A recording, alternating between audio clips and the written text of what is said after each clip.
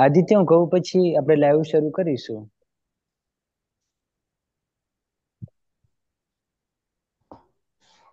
મેં ચાલુ કરી દીધું હાલ જ કર્યું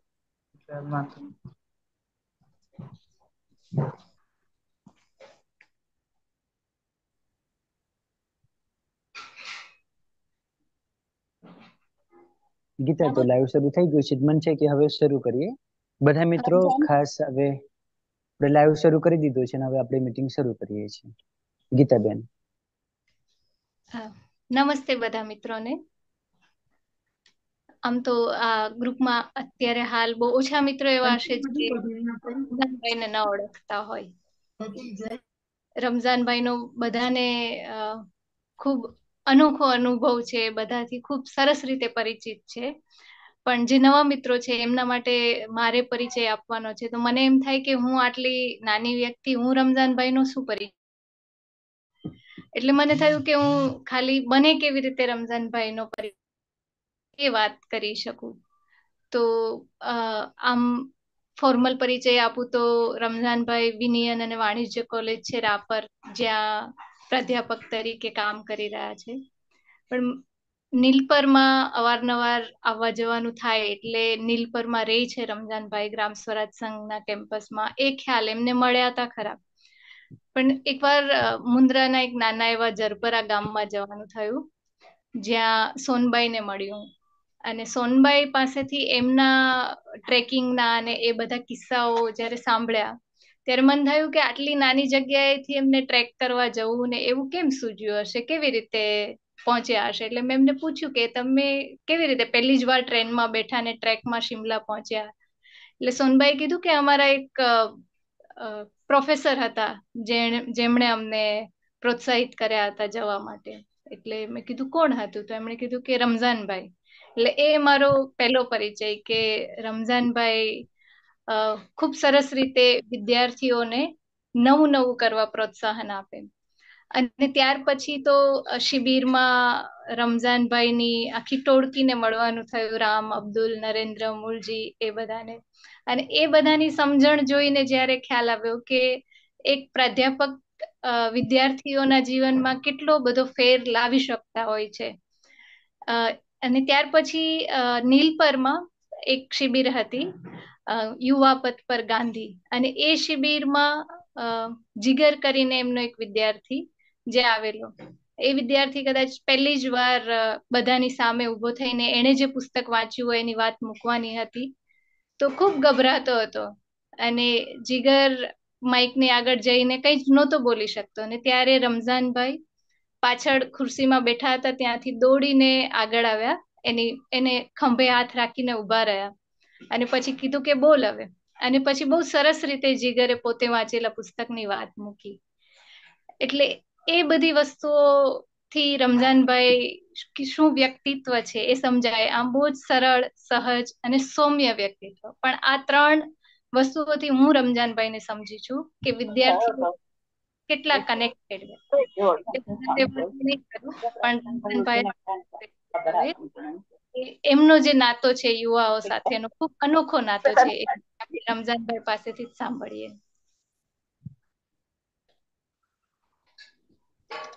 શરૂ કરું ગીતાબેન? હા રમઝાનભાઈ. હા. સૌને મારા પ્રણામ નમસ્કાર. વર્ચ્યુઅલ વિચાર વર્તુળ ના સૌ સાથી મિત્રો અને સંયોજક મિત્રો. અહીં શરૂ થયું એ પહેલા જેમને જોઈ શક્યો એવા મારા ગુરુજનો ગીતાબેન જેવા વડીલ ગુરુજનો જેવા તરલાબેન આશાબેન વિરાજબેન અને બીજા પણ ઘણા બધા શિલ્પાબેનથી માંડીને ઘણા જ સ્વજનો. અને જેના કારણે અમે બડુકા છીએ એવા અમારા વિદ્યાર્થી મિત્રો. એ પછી રામ હોય, અબ્દુલ હોય, કરણ. આમ હવે તો લેખી પણ શકાય એમ નથી, એવા એટલા બધા વિદ્યાર્થી મિત્રો. સૌને મારા નમસ્કાર અને પ્રણામ. ગુરુજનો જે જેમણે મને તાલીમ આપી છે એવા એમાંના એક તો આજે સાથે જ છે ગીતાબેન. પણ એવા દર્શનાબેન, ભુવનચંદ્રજી મહારાજ, બીજા પણ મારા શિક્ષકો, સૌને મારા નમસ્કાર. નરસિંહ મહેતાની મારી બહુ પ્રિય પંક્તિ છે. આપણે બધાને જરાક જુદી રીતે સડવડાટ જગાડે એવી ને કદાચ ન પણ ગમે એવી. હું કરું હું કરું એ જ અજ્ઞાનતા, સકટનો ભાર જેમ સ્વાન તાણે. હુંનો છેદ ઉડાડવાની તાલીમ અમારા ગુરુજનોએ અમને બધાને આપી છે અને એની કોશિશ અમે બધા કરી રહ્યા છીએ. અને એની સામે આ શીર્ષક આજનું જે છે, શિક્ષણ, યુવાનો અને હું. એટલે મારે એક વિનમ્ર સ્પષ્ટતા પહેલા કરવાની છે. એ આ છે કે કોઈને આ શીર્ષક જરાક વધારે પડતું લાગે. આ શીર્ષક ક્યારે આવી શકે? અત્યારે હું એસી એક વર્ષનો હોઉં અને આ બધા પ્રયોગો પછી એની વાત કરવા બેઠો હોઉં તો કદાચ આ શીર્ષક એપ્રોપ્રિએટ થાય. પણ એ શિક્ષણમાં મેં કોઈ એવા મોટા પ્રયોગો કર્યા નથી. ન તો કોઈ ક્રાંતિકારી પરિણામો લાવી શક્યો છું. છતાં મારું એક બહુ મોટું સદનસીબ રહ્યું છે. આ હું કયો હું છે એ મારે તમને પહેલા સ્પષ્ટ કરવું છે. એટલે રમઝાનનો હું નથી આ. એમ, આઈ વાળો હું નથી. પણ મારા એક મારા બહુ જ મોટા સદનસીબ હોય તો એ એ છે કે મને ઉત્તમોત્તમ ગુરુજનો મળ્યા. અને એવા જ મજાના અને ઉત્તમોત્તમ કહી શકાય એવા વિદ્યાર્થી મિત્રો મળ્યા. શિષ્ય શબ્દ હું નહીં વાપરું સાત ભાવ કદાચ ઓછા પડે એ શબ્દ વાપરવા માટે. એટલે વિદ્યાર્થી એ રિલેશનમાં પહેલું આવ્યું એટલે બાકી તો પછી તો એ ઓગળીને જે મિત્રો બની ગયા તે. તો એવા જે મિત્રો એટલે દર્શનાબેનની એક પ્રિય પંક્તિ છે. જે મૂળ તો ઉષ્ણસની પંક્તિ છે. હું તારકો ને તૃણની બીચો બીચ હું તારકો ને તૃણથી ખીચો ખીચ. મારી સ્થિતિ પણ આવી જ છે બેનની પણ આવી છે અને કોઈ પણ કદાચ શિક્ષકની એને અમારા જેવા ઘણા હશે કે જેને ઉત્તમ ઉત્તમ ગુરુજનો મળ્યા હશે. એટલે તારક જેવા ચમકતા, ટમટમતા ઉત્તમ ગુરુજનો મળ્યા હોય. અને એવા ને એવા ચમકતા અને લીલાછમ ઘાસ જેવા એવા વિદ્યાર્થી મિત્રો મળ્યા હોય. એટલે એ બેની વચ્ચે રહેલો હું, એ હું આજે વાત કરવાનો છે. એટલે એવી પહેલા સ્પષ્ટતા હું કરું કે જેને આવા ઉત્તમ ગુરુજનો મળ્યા. એમને પહેલા પહેલા તબક્કે હું વંદન કરું. એ કિશોર સાહેબ હોય, કિરીટ સાહેબ હોય, ભગવતી પ્રસાદ ચોટાલાલ રાવલ સાહેબ હોય, શંકર સાહેબ હોય, ખત્રી સાહેબ હોય, કે પછી દર્શનાબેન હોય. આ સૌની ભૂમિકા મારા જીવનમાં બહુ જ મોટી છે. અને એમની વાત કરવા બેસું તો બીજા કલાકોના કલાકો જોઈએ. એટલે ફરી ક્યારેક એમની વાત કરીશું. પણ ભણતો તો ત્યારે આજે મારા વિદ્યાર્થીઓની વાતો માંડવાની છે એટલે. ભણતો તો ત્યારે ઘરની સ્થિતિ, આર્થિક સ્થિતિ નબળી. મા બાપ અભણ તો ખરા, પણ મજૂરી કરીને ઘરનું ગુજરાન ચલાવે. અને બેનો અને મા અને બધા મૂલ કરીને મને ભણાવે. એટલે મને એમ થાય કે જેમ બને એમ ઝડપથી હું ભણી લઉં અને ભણીને નોકરી કરતો થાઉં. એટલે મા બાપનો નો બોજ હું ઉપાડી શકું. એટલે સૌથી પહેલા મારા મનમાં એમ હતું કે બારમું કરીને પીટીસી કરી લઈએ અને પીટીસી કરીને હું પ્રાથમિક શાળામાં શિક્ષક થઈ જાઉં એટલે ફટાફટ નોકરી મળી જાય. પણ મારા સદનસીબે મને બારમામાં ઓછા ટકા આવ્યા. સદનસીબ એટલે કહું છું કે જો એમ થયું હોત કે સારા ટકા આવત એટલે સિત્તેર એક આવ્યા જે એ સમયે પીટીસી ના એડમિશન માટે ઘણા ઓછા ગણાતા. તો એ સિત્તેર ટકાએ હું પાસ થયો અને મને પીટીસી એટલે પછી એટલે પછી મારે કોલેજ કરવાનું આવ્યું. અને કોલેજમાં મને જે ગુરુજન મળ્યા, ઉત્તમોત્તમ કહી શકાય, અને શિક્ષકત્વના ઉત્તુંગ શિખર જેવા મારા જીવનમાં જેમનું સ્થાન છે, એવા દર્શનાબેન ધોળકિયા મને મળ્યા. એ મળ્યા એનું કારણ પણ અત્યારે મારા બીજા ગુરુજન બેઠા છે, એવા ગીતાબેન છે, એ મને ભૂજ ઉપાડી ગયા, વિરાયતનમાં મને રાખ્યો અને મને મારા ગુરુજન એ દર્શનાબેન મળ્યા. પણ એનાથી મારા જીવનની દિશા બદલાઈ, દશા બદલાઈ. અને એમની પાસે જ મેં બીએ કર્યું ને એકમાત્ર આદેશ બેને અત્યાર સુધી જે મને કર્યો છે તે એ કે હું તને બીએડ નહીં કરવા દઉં. અને તારે એમ જ કરવાનું છે ને એ પણ રેગ્યુલર કરવાનું છે. એટલે મારી સ્થિતિ ન હોવા છતાં કુટાતે પીટાતે એ પણ એની વાતો અત્યારે નથી કરવાની. પણ એમ અમે એમએ કર્યું. અને એમએમાં બેનને એ બધાના ની મહેનતના પરિણામે ને એ લોકોના ભણતરના કારણે મારે જે પરિણામ આવ્યું, એના થકી એમએના રિઝલ્ટ પછી તરત જ મારે મુન્દ્રા કોલેજમાં નોકરી કરવાની થઈ, એટલે જોડાવાનું થયું. તો મુન્દ્રા કોલેજમાં નોકરી અર્થે જોડાયો, જ્યાંના સોનબાઈ તમને મળ્યા, કે બીજા પણ કેટલાક મિત્રો, ગોપાલ, આ તે બધા તમને મળ્યા હશે, એની બધાની થોડીક વાતો કરીશ આજે.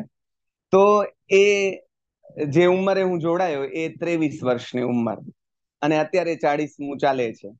એટલે સત્તર વર્ષના લેખાજોખા કરવાના છે. ત્યારે આરંભે મને એક વાત ખાસ કરવાનું મન થાય. શિક્ષક મિત્રો જે બનવા જઈ રહ્યા છે એના માટે ને છે, એના માટે પણ. કે કેટલાક શિક્ષકો બાય ચોઈસ શિક્ષક બનતા હોય છે અને કેટલાક બાય ચાન્સ શિક્ષક બનતા હોય છે. કાંઈ ન મળે તો શિક્ષક થઈ ગયા હોય.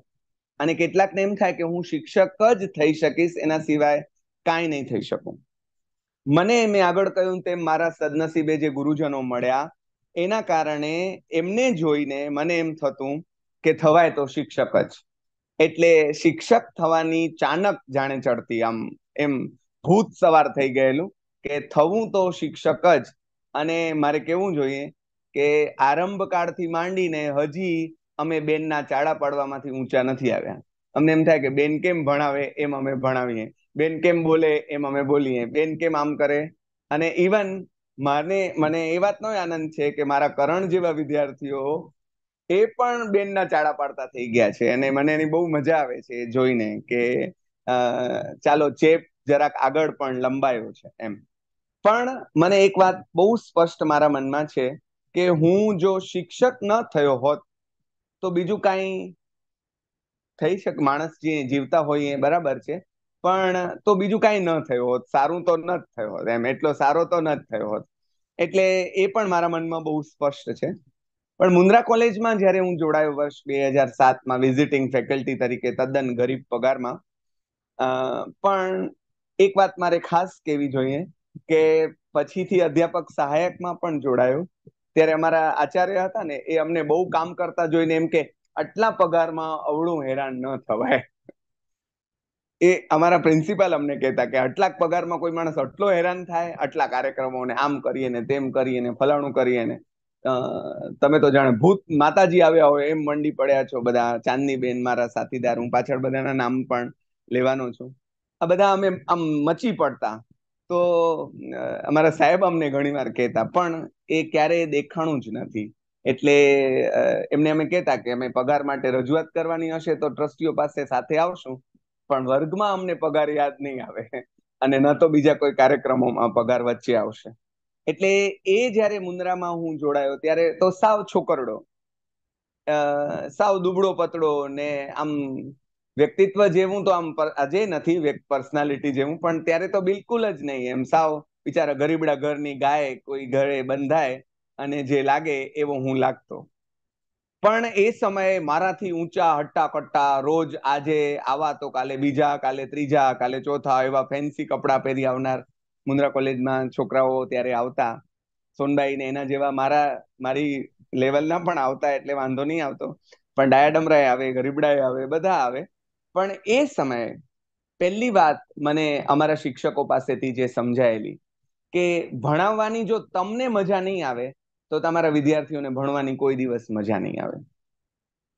એટલે અમે જોયા છે અમારા શિક્ષકોને કે they were enjoying their teaching એ લોકો ભણાવવાની ક્ષણોને જાણે કે માણી રહ્યા હોય.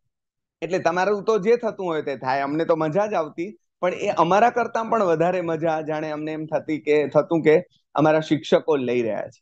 અને સેમ વે એ લોકોએ અમને જે તાલીમ આપી એના કારણે કાયમ વર્ગ, સ્વર્ગ એ ની અનુભૂતિ જીવ મર્યા પછી તો જે થશે તે.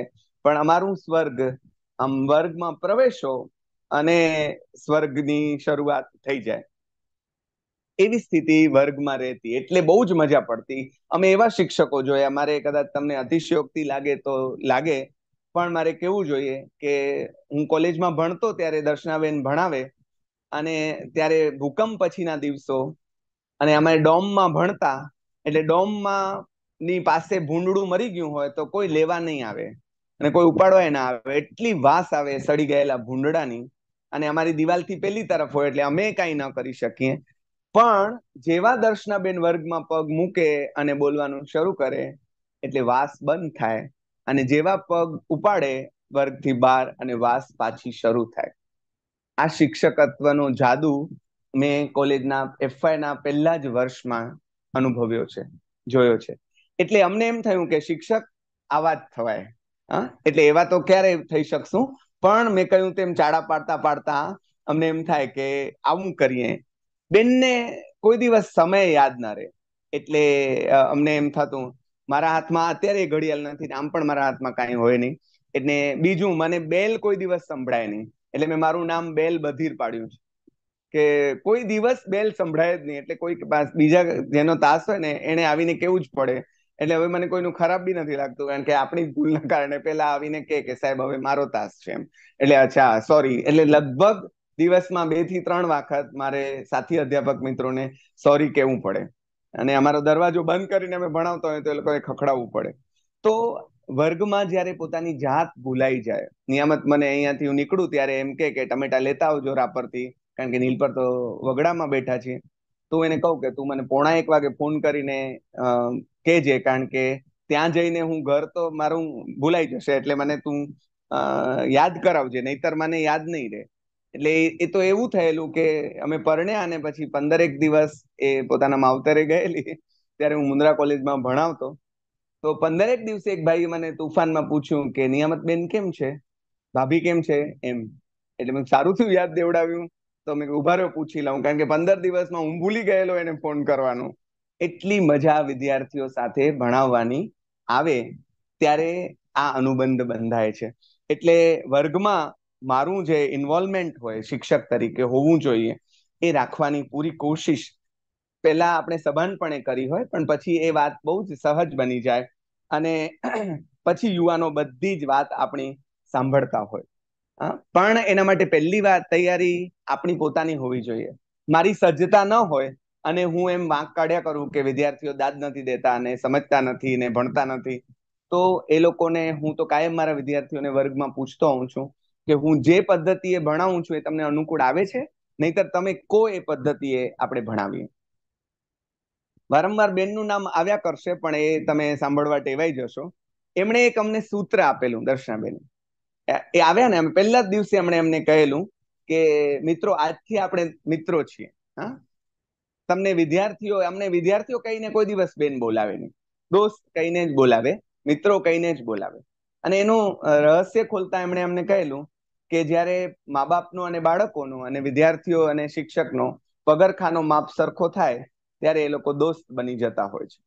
એટલે અમારો એ લોકો સાથેનો સંબંધ કાયમ દોસ્તીનો રહ્યો છે. ને વિદ્યાર્થીઓના દિલમાં સ્થાન મેળવવાની ઘણી બધી ગુરુ ચાવીઓ એ લોકોએ અમને આપી છે.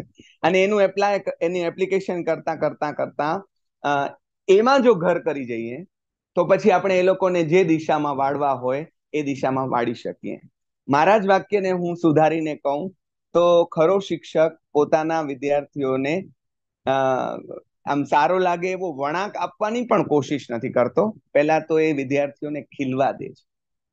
એ જેવા છે તેવા એને ખીલવા દે છે. એ ખીલે છે, એની અનુકૂળતા, એ ખીલે, એની અનુકૂળતા કરી આપે અને જરૂર લાગે ત્યાં થોડી થોડી એ ઘાટઘૂટની વ્યવસ્થા એ આ વિદ્યાર્થી માટે શિક્ષક કરે. મુન્દ્રા કોલેજમાં મેં કહ્યું એમ જાત જાતના અમે કાર્યક્રમો કર્યા અને મને યાદ આવે જૂનું ઘર ખાલી કરતા કવિતા અમે ભણતા હોય તો લક્ષ સાબુટીનનું ડબલું ને આ તે એમ કરીને જે જે વસ્તુઓ ખાલી કોઈને એમ લાગે કે યુવાનો ઉપર અસર નથી થતી કોઈ વસ્તુઓની. મારો અનુભવ બહુ જુદો છે. આ કવિતા ભણતા, ત્યારે અમે સોનેટ ભણાવતા. આપણા સોનેટ અમને ચંદ્રશંકર ભટ્ટનું સંપાદન આવતું ભણવામાં. અને આમાં સોનબાઈ વગેરે પણ કદાચ ભણ્યા હશે. તો આખો ક્લાસ, એમાં અમારી કૃષ્ણા કરીને એક દીકરી તો એટલી રોયેલી કે એને છાની કરાવવી પડેલી. આંખમાં પાણી આવી જાય એ તો બહુ જ સાહજિક હતું. એનું કારણ કે તમે પોતે શિક્ષક તરીકે જો એ કવિતાને અનુભવો નહીં ફીલ કરો નહીં વડાવી બા આવીને જો મેં અનુભવી ન હોય, ભલે હું બા ન હોઉં, તોય બાની સ્થિતિએ પહોંચીને ઉમાશંકર જેને સમસંવેદન કે છે, એ સમસંવેદન જો મેં ન અનુભવ્યું હોય, તો હું મારા વિદ્યાર્થીઓને કેવી રીતે અનુભવાવી શકું? એવી કેવી રીતે કરી શકું? એટલે સુખ દુઃખના સાથી પન્નાલાલની વાર્તા ભણીને અમે બધા જ લગભગ આમ ધ્રુસકો આવવાનો બાકી બધી ડૂમો ભરાઈ જાય એવી સ્થિતિમાં અમે બધા ભણ્યા છીએ. અને કોણ કહે છે કે વિદ્યાર્થીઓ સંવેદન શૂન્ય બનતા જાય છે? વિદ્યાર્થીઓ બહુ જ સંવેદનશીલ છે. ખાલી એ લોકોની સંવેદનાઓને આપણે આપણી દિશામાં વાળતા અથવા તો સાચી દિશામાં વાળતા આવડવી જોઈએ. એટલે એક એક થી ચડે એવા મારા ત્યાંના સરસ મિત્રો મળ્યા. ગોપાલ છે પ્રીતિ છે, કવિતા છે, પ્રીતિ આજે અહીંયા પણ છે, એમાં સાથે ને હવે મારા પીએચડી ના વિદ્યાર્થીની પણ છે. એટલે એફઆઈ થી પીએચડી સુધીનો એમની સાથેનો અનુબંધ. અને મારે તમને કેવું જોઈએ કે એમણે એક દિવસ મને જન્મ દિવસમાં ભેટ આપેલી. શું ભેટ આપી હતી? છેલ્લા વર્ષે ટીવાયમાં. સાહેબ, તમે ભણાવેલી કવિતાઓ તમને ભેટ. પોતાના હાથે એમણે એક આખો મસ્ત આજે પણ એ આલ્બમ બ્લુ કલરના જરીવાળા પુઠ્ઠામાં મારી પાસે સચવાયેલો છે. કે જેમાં એમણે મેં એમને ભણાવેલી તમામ કવિતાઓ, નરસિંહ મહેતાથી માંડીને એ બધી કવિતાઓ અને પછી એમાં એમણે પાના ખાલી રાખ્યા હતા. એમ કરીને લખેલું કે હજી ઘણી કવિતાઓ તમારી પાસેથી ભણવાની બાકી છે, માટે ખાલી પાના પણ ભેગા મોકલું છું. આવા વિદ્યાર્થીઓ મને મુન્દ્રામાં મળ્યા. કવિતા મળ્યા. અહીંયા એ પણ હશે. એ પણ પીએચડી થઈ ગયા ડોક્ટર કવિતા અને અત્યારે મોરબીમાં પ્રોફેસર છે એ બેન. માનસી નામની એક અમારી દીકરી એને સાવકીમાં હતા. એટલે એને એને ભણવું હોય તો બહુ જ શ્રમ પડતો. અને એટલી હોશિયાર અમારી એ દીકરી. સ્પર્ધાઓમાં ભાગ લે, પણ જો નંબર આવે તો એની માં ખીજાય. એટલે એને ખબર ન પડે એમ, અમે જાહેરાત નહીં કરીએ એની એના નંબરની ને પછી એને પ્રમાણપત્ર આપી દઈએ. એકવાર તો એવું થયેલું કે એ નિબંધ સ્પર્ધામાં બહુ જ સારી, બહુ સરસ લખતા એ માનસી. તો એના મમ્મી તો લખવા જ ન દે. એટલે મેં એના નાની માધા પર રે, એટલે મેં કહ્યું કે બેટા તમે માધા પર જતા રહો અને ત્યાંથી તમે લખો. સ્પર્ધા વાળાએ અમારી પાસે ઉઘરાણી કરી કે છેલ્લો દિવસ આવી ગયો છે, તમે કેમ નિબંધ નથી આપ્યા? મેં તો હું રૂબરૂ નિબંધ આપવા આવીશ, પણ તમે એક દિવસનું એક્સટેન્શન અમને આપો. અને એક દિવસ મને એ દ્રશ્ય યાદ છે કે જ્યારે જુબેલી ઉપર જુબેલી ગ્રાઉન્ડ પર માનસી એમના નાની સાથે માધા પરથી નિબંધ આપવા આવેલા અને મેં કાગળમાં એક વધુ નામ માનસીનું ફાઇનલી લખી અને એ નિબંધ સબમિટ કરાવેલા અને એમાં માનસીનો નંબર આવેલો. તો આ રીતે જ્યારે તમે વિદ્યાર્થીઓ સાથે અનુબંધિત થાવ છો, ત્યારે આજે એ માનસી પરણી પણ ગયા છે, એમને બાળકો છે, અને તેમ છતાં એમનો અનુબંધ એવો ને એવો અકબંધ છે. તો એવા એક અમારા વિદ્યાર્થી છે, રાજદીપ છે, બીજા ગોપાલ છે, કેટલાય બધા વિદ્યાર્થીઓ. કવિતા તો મેં કહ્યું એમ પછી એમએ પણ એમણે કર્યું પીએચડી એમફિલ કર્યું પીએચડી કર્યું અને ખૂબ આગળ વધ્યા. ખૂબ જ, બહુ જ સારા વક્તા, બહુ સરસ લખે, કેટલું બધું રાજદીપ અમારો એવો ફૂલ ફટાક છોકરો કે જેને જોઈને પ્રેમમાં પડી જવાય. એટલો દેખાવડો લાગે. અને એના પાપા પીએસઆઈ ને રોજ નવા કપડાં પહેરીને આવે.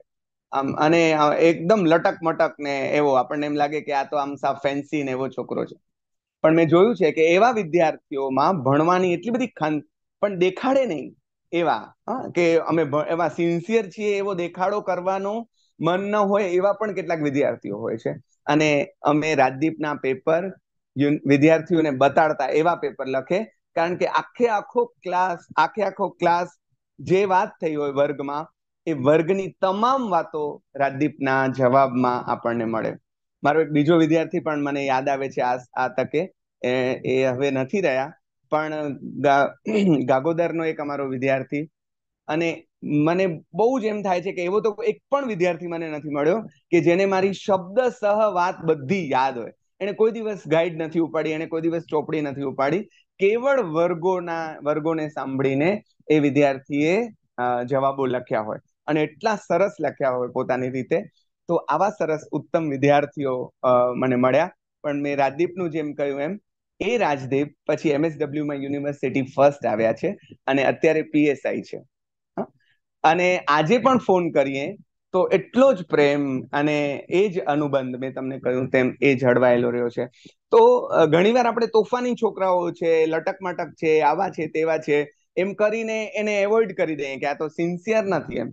એવા સાથે પણ દોસ્તી કરી હોય એ મને કે સાહેબ તમે આ, મને કોઈક વાણિયા ભાઈઓએ કપડા આપ્યા હોય ને મેં પહેર્યા હોય, તો રાજદીપનો પ્રશ્ન મને આ હોય કે, સાહેબ, આ કપડા ક્યાંથી લઈ આવ્યા છો? આવા મસ્ત બ્રાન્ડેડ. મને તો ત્યારે બ્રાન્ડેડ કપડાના સપનાય ના આવતા હોય. પણ એને હું કહું કે, હવે એ મને અમારી ચર્ચા આવી થતી પણ આવી ચર્ચા એ કરતા કરતા દોસ્તી બંધાય. મારું કહેવાનો તાત્પર્ય એ છે. અને પછી એ અનુબંધ ધીરે ધીરે વિસ્તરતો વિસ્તરતો ક્યાં સુધી પહોંચે એની વાત માટે મારે તમને ગોપાલનું ઉદાહરણ દેવું છે. જરપરાનો જ અમારો નાનકડો મજાનો છોકરો ગોપાલ. એવો ગોપાલ કે જેણે હમણાં મને ખારેક મોકલી એમ કહીને એમણે બધા તીર્થોમાં ખારેક મોકલી. એને કહ્યું કે મારે માતાના મઢ ખારેક મોકલવી છે, રવેચી મોકલવી, અરે, નારાયણ સરોવર મોકલવી છે, રવેચી મોકલી, અહીંયા મોકલી. મેં ના પાડી. ઘણા ટાળ્યા એમને કે બેટા તમે મારા માટે ખાસ ધક્કો નહીં ખાતા. તો કે નહીં નહીં, અમારે તો અહીંયા અહીંયા અહીંયા અહીંયા ખારેક મોકલવાની જ છે. એટલે ભેગી ભેગી તમારી આવી જશે. એટલે મેં કીધું તીર્થોમાં મોકલો એ બરાબર છે, પણ આપણે તો અહીંયા સરસ ખારેક મળે છે. એટલે એનો જે જવાબ હતો કે સાહેબ તમે અમારા તીર્થોત્તમ છો. મારી કોઈ જ લાયકાત નથી, મને ખબર છે. પણ વિદ્યાર્થીઓનો આ પ્રેમ કે એ આપણા માટે આ ભાવ સેવે, એવું તો કાંઈ આપણે કરી પણ ન દીધું હોય એ લોકો માટે. પણ છતાં એટલે હું જે કહેવા માંગુ છું એ આ છે, બેન હંમેશા એક સૂત્ર આપતા હોય છે કે ગુરુદેવો ભવ નહીં શિષ્ય દેવો ભવ. ઉત્તમ તો આપણા વિદ્યાર્થીઓ છે, જેના થકી આપણે ઉજળા છીએ.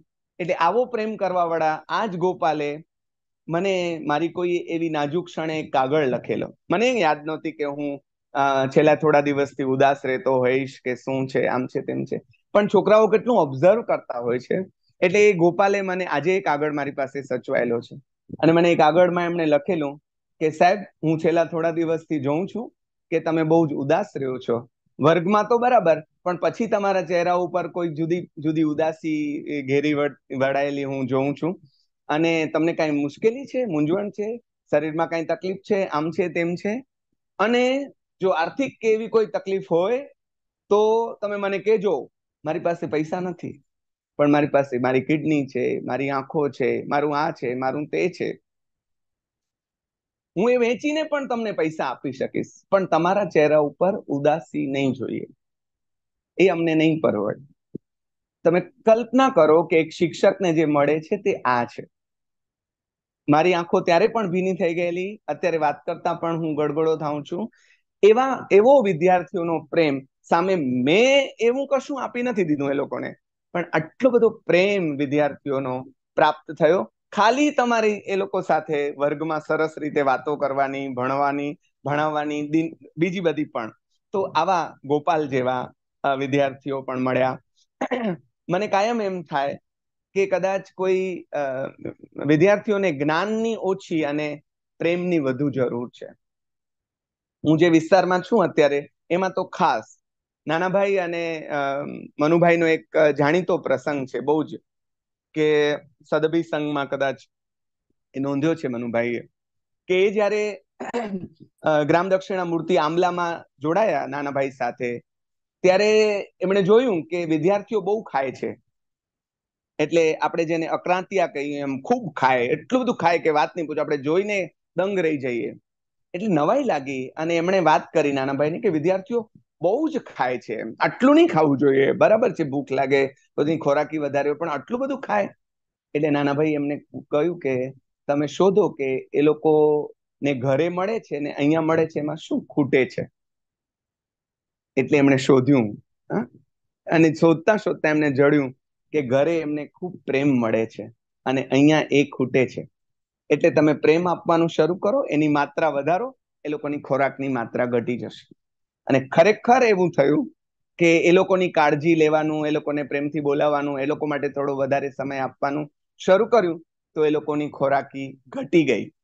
કારણ કે બાળકને મેં કહ્યું એમ જ્ઞાન કરતા પણ વધારે નાના બાળકોને ભણાવવા અને યુવાનોને ભણાવવા, એમાં આ ધ્યાન રાખવાનું પડે રાખવું પડે છે. કે નાના બાળકોને પણ પ્રેમ જોઈએ છીએ, આ લોકોને પણ પ્રેમ જોઈએ છીએ, પણ સાથે સાથે યુવાનોને થોડી રિસ્પેક્ટ પણ જોઈએ છે. જે ઘણા શિક્ષકોને કદાચ ખબર નહીં કેમ, પણ હું જોઉં પણ છું અને જ્યાં લોચો પડે છે તે આ, કે એ લોકોને રિસ્પેક્ટ પણ જોઈએ છે. એ લોકોને એમ છે કે અમારા સાહેબ અમારું માન જાળવે. બધાની વચ્ચે જો તમે વિદ્યાર્થીઓને ઉતારી પાડો, તો એ લોકોને બહુ લાગી આવે છે. એટલે અમારા બેને અમને એક વિદ્યાર્થીઓને ક્યારે તું કહીને નથી બોલાવ્યા. નાગરોમાં આમ પણ કોઈને ટૂંકારો ના આપે. પણ અમે એમના પાસેથી આ પણ શીખ્યા કે કોઈ પણ વિદ્યાર્થીને અમે તું, રામ, તું અહીંયા આવ. એવું આજની તારીખ, આજે બોલ્યો એ બોલ્યો અને એ ઉદાહરણ આપવા માટે બોલ્યો. બાકી રામ, તું અહીંયા આવ એવું ક્યારેય હું બોલ્યો નથી. એનું કારણ પણ બેન છે. એ લોકોને એની બહુ અસર, ખાલી તું નું તમે કરવાથી એટલી બધી અસર થતી હોય છે કે વાત નહીં પૂછો. એ લોકોને એમ છે કે, ઓહો, આ આટલા બધામાંથી આ એક જણ મને આટલું માનપૂર્વક બોલાવે છે? ખૂબ જ ફરક પડે છે. એટલે હોશિયાર વિદ્યાર્થીઓ તો બધાને ગમે. પણ મારે થોડા જમ્પ લગાડવાના છે. મેં એટલું લેસન નોંધ્યું છે કે આ એક હપ્તામાં તો મને નથી લાગતું કે પૂરું થાય. કદાચ પાર્ટ ટુ કરવું પડશે, બાહુબલીની જેમ. પણ અમારા બધાના આદર્શ, આપણા બધાના તો વિનોબા ને એ બધા લોકો. એટલે એને તો આપણને એવું શીખવાડ્યું કે છેલ્લી પાટલી વાળો બોલે ત્યારે તું સાચો શિક્ષક. એટલે આપણી નજર તો છેલ્લી પાટલી વાળા સુધી પહોંચવી જોઈએ, એને આવડવું જોઈએ, એને રસ પડવો જોઈએ. એટલે મને કાયમ મારા ટાર્ગેટમાં રામને એ લોકોની વાત મેં છેલ્લે રાખી છે. અને થાય તોય ભલે, ન થાય તોય ભલે, કાંઈ વાંધો નથી. એવું મેં એ લોકો સાથે પણ ખુલાસો કરી લીધો છે. પણ તોફાની વિદ્યાર્થીઓ એ લોકો મને કાયમ બહુ ગમે. તોફાની એટલે અહીંયા અમારા વાગડના તોફાની તો તમે આવો તો રહ્યો તો કલ્પના કરો તો ખબર પડે કે અહીંયાના તોફાની એટલે કેવા. પણ મને કાયમ એમ થાય કે વિદ્યાર્થીઓને વઢવાનું નથી હોતા, હોતું. એને વાળવાના હોય છે. સામાન્ય રીતે જે શિક્ષક ભૂલ કરે છે તે આ છે. વાતે વાતે આપણે બાળકને પણ વઢ્યા જ કરીએ છીએ. ના, આપણા ઘરમાં પણ તમે જોજો. એને આમ ન કર ને તેમ ન કર ને તું તો આવો છો ને, તું તો તેવી છો ને, ફલણ. વઢવાને બદલે જો આપણે વાળવાનું શરૂ કરીએ તો ઘણા બધા પરિણામો બદલી જતા હોય છે. અને એના થોડાક અનુભવો મારા અહીંયા જે થયા છે, જાત અનુભવની વાતો હું પછી વિદ્યાર્થીઓના નામોલ્લેખ સાથે કરીશ. મેં એક એ પણ જોયું છે કે કોઈ વિદ્યાર્થી તોફાન કરે એટલે આપણે વિદ્યાર્થીને વર્ગમાંથી કાઢી મૂકીએ. અથવા અમુક પ્રકારના વિદ્યાર્થીઓ વર્ગમાં બેસે જ નહીં, એમાં આપણે રાજી પડ્યા હોઈએ. આ આપણા શિક્ષકત્વની કચાશ છે. હા? વિદ્યાર્થીને વર્ગમાંથી કાઢી મૂકવા એ રસ્તો નથી. એને એને ઇવન સ્કૂલમાંથી રસ્ટિકેટ કરવા એ રસ્તો નથી. એને તો કેમ વાળવા? એ શિક્ષક સામે ચેલેન્જ છે. અને એ ચેલેન્જ પાસ કરે તો એ શિક્ષક તરીકે પાસ થતો હોય છે. એટલે એક વાત જે અમારા ગુરુજનો પાસેથી અમને શીખવા મળી છે તે આ છે કે તમારે તમારા વિદ્યાર્થીઓ જેવા છે તેવા સ્વીકારવાના હોય છે. મને ખબર છે કે હું વાગડમાં કામ કરું છું. તો વાગડમાં કામ કરું છું ત્યારે વાગડની નાની નાની નિશાળોમાંથી આટલા હજારો યુવાનોમાંથી આટલા ભણવા આવ્યા, એ જ મોટી વાત છે. અને એ લોકો કઈ રીતે બોલશે?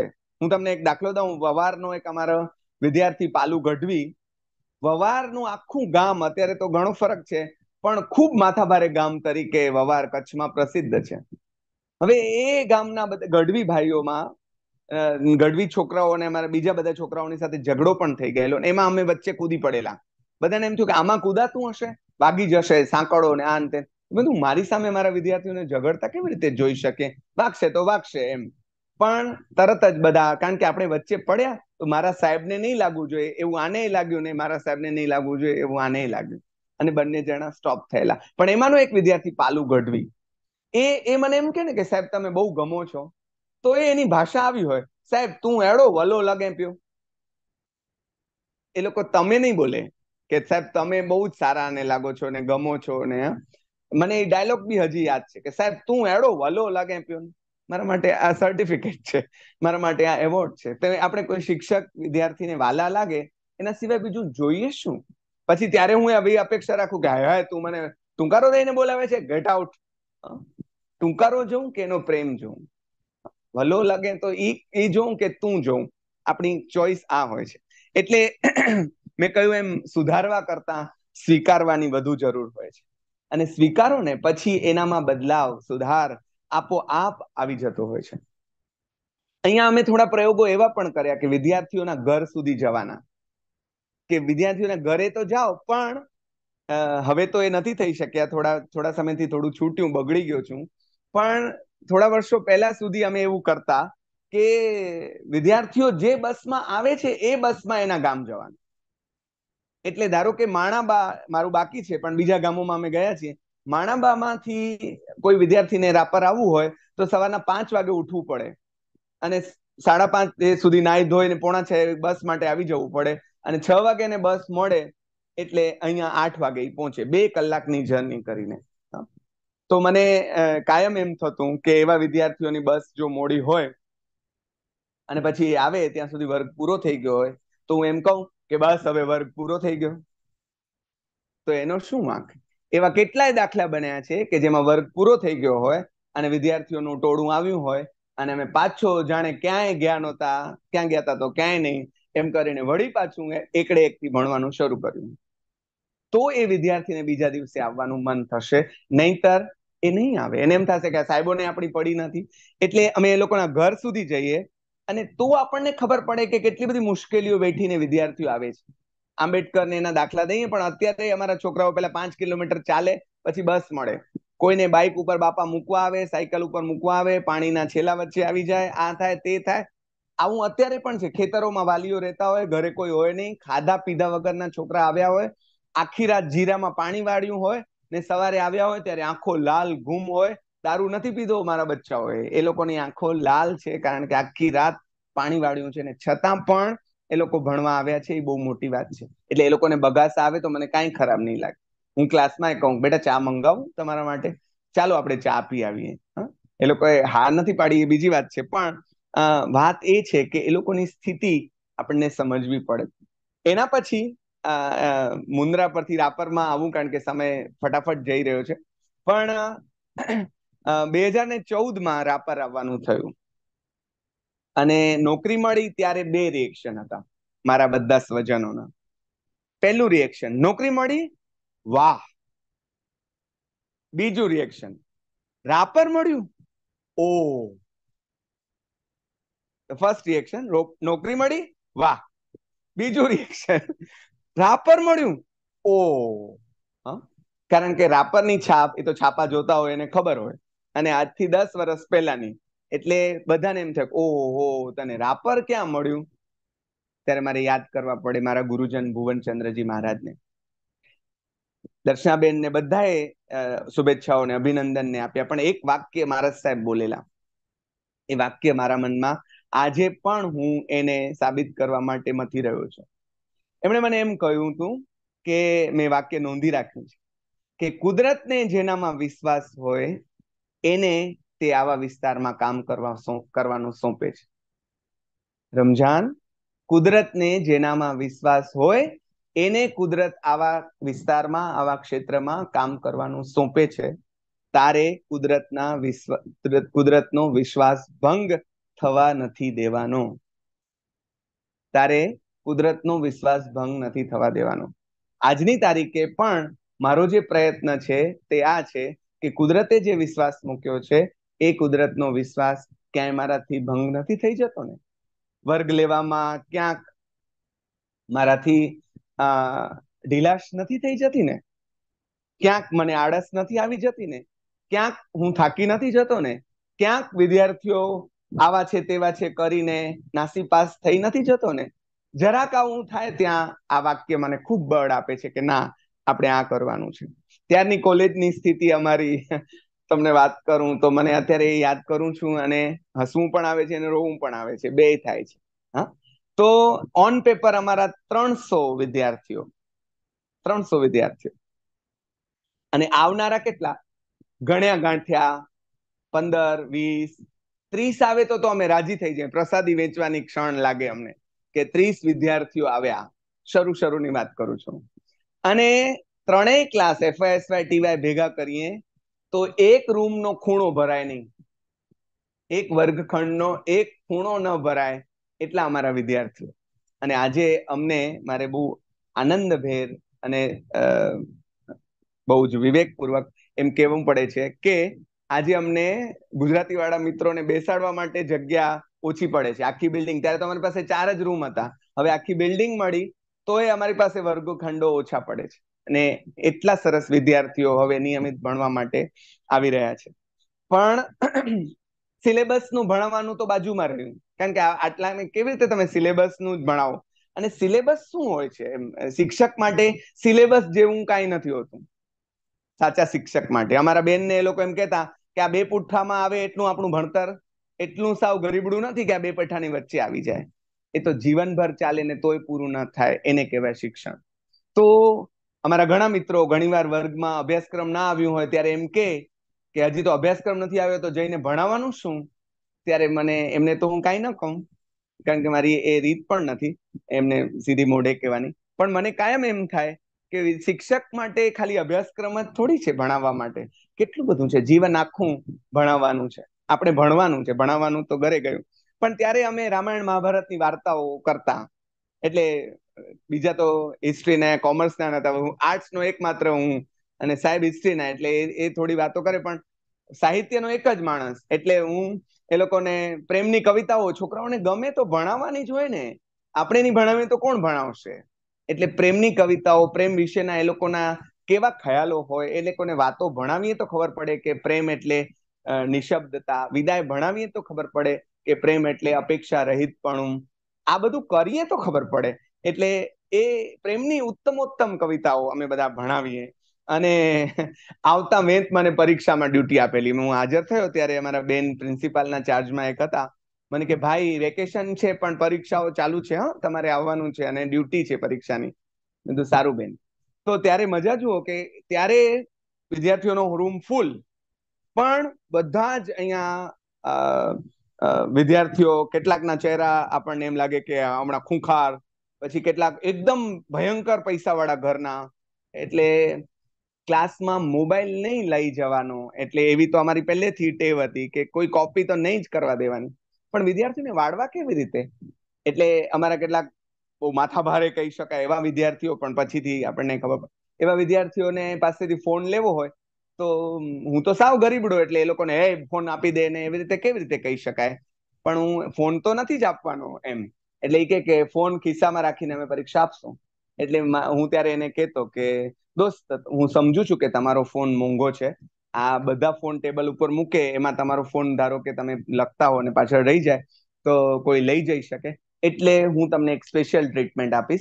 તમારો ફોન હું મારા ખિસ્સામાં મૂકીશ, પણ તમારા ખિસ્સામાં તો નહીં જ રહે. એટલે એને એમ થાય કે, ઓહો, મારા સાહેબે મને સ્પેશિયલ ટ્રીટમેન્ટ આપી. બસ, તો પછી વાંધો નથી, એમ. બધા કરતા હું કંઈક ખાસ છું. એ હું ભલે લાગતું એને. પછી ધીરે ધીરે ધીરે ધીરે ધીરે ધીરે કરતા એ વિદ્યાર્થીઓમાં એટલો બધો બદલાવ આવ્યો કે એમાંનો એક વિદ્યાર્થી, મારે તમને એનું એક ઉદાહરણ આપવું છે. એમાંના એક વિદ્યાર્થી જેનું નામ છે રત્નદીપસિંહ રત્નદીપસિંહ ચિત્રોડના દર, ક્ષત્રિય પરિવારના. અને એકવાર અહીંયા આવ્યા એટલે પછી બધું જોઈએ, ગેસ કનેક્શન ફલાણું ઢીકડું. એટલે અમારા એક સાહેબની મદદ લઈને અમે ગાંધીધામ ગેસનું બોટલ ને બધું નોંધાવવા માટે ને ગયેલા બધી પ્રોસેસ માટે. આવતા અમને બહુ જ મોડું થઈ ગયું. એટલે મારી સાથે જે બીજા સાહેબ હતા તે ગાગોદરના અત્રી સાહેબ, મારા પરમ મિત્ર, આજે પણ ખરા. એમને એ બસમાંથી ઉતર્યા ચિત્રોડ હાઈવે ઉપર અને હું નીલ પર આવ્યો. હું નીલ પર આવ્યો ત્યાં સુધી મેં એને બે ત્રણ ફોન કરી લીધા તમને વાહન મળ્યું મળ્યું મળ્યું. પણ એમને વાહન નહોતું મળ્યું. હવે રાત થવા આવેલી, અંધારું થઈ ગયેલું. અને હજી તો શરૂઆતના દિવસો, એટલે અહીંયાની જે છાપ આપણા મનમાં હોય કે એમને કાંઈ થશે તો? એટલે મારા મનમાં ગભરાણ, ગભરાવટ શરૂ થઈ કે મારા કારણે અત્રી સાહેબને કાંઈ થયું તો? મારા કારણે કાંઈ થયું તો? એટલે હું વારે વારે ફોન કર્યા કરું. સાહેબ, કાંઈ વાન મળ્યું? સાહેબ, કાંઈ વાન મળ્યું? પણ એ જે જગ્યાઓ, એમાં અજાણ્યો કોઈ માણસ વાન ઊભો પણ ના રાખે. હા? એટલે એમને કાંઈ વાન મળતું જ નહોતું, મળતું જ નહોતું. પછી દસમી એક વખત ફોન કર્યો ત્યારે એમને કહ્યું કે તમે ચિંતા ન કરો મારી પાસે રત્નદીપ નામના આપણા વિદ્યાર્થી અત્યારે આવ્યા છે ને ઊભા છે. એટલે મને એટલી હાશ થઈ. પણ મેં, હું માન્યો નહીં એટલે મેં કીધું, આપો રત્નદીપને જરા. એટલે મેં રત્ન રત્નદીપે ફોન લીધો અને એક રિક્વેસ્ટ મેં રત્નદીપને કરી. મેં કીધું, દોસ્ત, તમે છે ને સાહેબને વાહન નહીં મળે ને, ત્યાં સુધી તમે પ્લીઝ જશો નહીં. એટલે એ છોકરો એકદમ એકદમ સરસ, આમ ખાનદાન છોકરો. પણ થોડી વાર પછી મેં ફોન કર્યો તો સાહેબ રસ્તામાં હતા. થોડી વાર પછી ફોન કર્યો તો સાહેબ ઘરે પહોંચી ગયેલા. એટલે મેં કીધું, સાહેબ, ઘરે પહોંચ્યા? તો કે, હા, તમારો રત્નદીપ મને મૂકી ગયો ને. બાઇક ઉપર એ છોકરો એમને ગાગોદર મૂકવા ગયો. ત્યાં સુધીની સ્ટોરી તો દેટ ઇઝ ફાઇન ઓકે છે. પછી મેં એમને આભારનો ફોન કર્યો રત્નદીપને કે, રત્નદીપ, તમે મારા માટે મને ચિંતા ન થાય, એટલા માટે અત્રી સાહેબને ખાસ ગાગોદર ફોન અરે, મૂકવા ગયા? તમારો ખૂબ ખૂબ આભાર બેટા. ત્યારે એનો જે જવાબ હતો એ, વિરાજબેન, આહા થઈ જાય એવો છે. એ જવાબ એમ હતો કે એણે મને એમ કહ્યું કે સાહેબ, આભાર શું માનો છો? એકલવ્યની જેમ અંગૂઠો નથી આપી દીધો અને એ આપી દઈએ ને તો પણ તમારે આભાર ન માનવાનો હું બાઘાની જેમ શૂન્ય મનસ્ક થઈ ગયો કે આ છોકરો કે જેને મારે મોબાઈલ લઈ લેવો પડતો કે દોસ્ત, મોબાઈલ લઈ લો, આમ કરો, લખો, આમ કરો, તેમ કરો તેમ કરો. એ વિદ્યાર્થી સાથેનો ખાલી આપણો સદવ્યવહાર. કશું જ નહીં, તો કોમર્સના વિદ્યાર્થી ભણાવવાનું તો આવે જ નહીં. ખાલી આપણો સદવ્યવહાર એને આપણા માટે ક્યાં સુધીના ભાવ પર લઈ જાય છે? આ એક ઉદાહરણ. બીજું મને એમ થાય છે કે આજે બહુ ઓછા ઉદાહરણો દઈ શકાશે મારું લિસ્ટ ઘણું લાંબુ છે. દિગ્વિજય નામનો એક વિદ્યાર્થી અમારો, દિગ્વિજય સિંહ. એ મેં કહ્યું એમ, અમારે ઓલું પંદરેક જણાના રૂમમાં આવીને બેસે. હવે એનો વિષય ઇતિહાસ કે સોશિયોલોજી મુખ્ય વિષય ગુજરાતી નહીં. પણ ભણવા અમારા રૂમમાં બેસે કારણ કે એને સુદામા ચરિત્રમાં મજા પડે, એને આ બધામાં મજા પડે. એટલે એક દિવસ મેં એમને ખાલી વર્ગમાં, પણ એની એની એની સ્ટોરીમાં જરાક આગળ પણ છે કે દિગ્વિજયને જયારે એડમિશન આપવાનો તો દિગ્વિજયનો દેખાવ જરાક આમ ડેન્જરસ ને એવો. અને એમ એક અવાજ પણ એવો ઘેરો ને બોલે તો આપણને એમ થાય કે હમણાં જરા આમ ખોખડાવી નાખશે ને એવો પ્રકાર. તો અમારા જે સાહેબ હતા એને એમ થયું કે આને એડમિશન ન દેવાય. આ છોકરો તો ત્રણ વર્ષ બહુ હેરાન કરશે. મને ખબર નહીં કેમ, પણ મને એવા વિદ્યાર્થીઓ બહુ જ ગમે. એટલે મેં સાહેબને કહ્યું કે, સાહેબ, દિગ્વિજયની આ દિગ્વિજયને તો કાંઈ ખબર જ નહીં, હા. એની આજે પણ નથી અહીંયા જોડાયા નથી, એટલે ખબર પડવાની નથી. પણ મેં સાહેબને કહ્યું કે, દિગ્વિજયની ગેરંટી મારી. એ કાંઈ પણ કરે ને, તો મારી જવાબદારી. પણ તમે દિગ્વિજયને એડમિશન તો આપો જ, પ્લીઝ. મારી જવાબદારી આપો. દિગ્વિજયને એડમિશન આપ્યું. પછીનો આ કે વર્ગોમાં આવતા થયા, એને ગમતું થયું, બેસતા થયા. વર્ગમાં એક જ વખત ખાલી, એક નાનકડું એપ્રિશિએશન કેટલું કામ કરે. એટલે મેં મારા ગુજરાતીના વિદ્યાર્થીઓને કહ્યું કે, મિત્રો, તમે નથી આવતા ને એટલા વર્ગો ભરવા માટે દિગ્વિજય આવે છે, જુઓ અને કેવા મજાના છે આવા છે તેવા હવે એની અસર જુઓ તમે, કે પરીક્ષાના દિવસો ચાલે અને મને એ વર્ગખંડ પણ બરાબર યાદ છે. અમારો છેલ્લો વર્ગ એની બાજુમાં ભાઈઓને બાથરૂમ જવા માટેની યુરિનલ ને એવું બધું ત્યાંથી સીધો જવાય. એટલે એ એક છોકરો મારી વાયડાઈ કરે ટીખડ એમ. નવા નવા ને?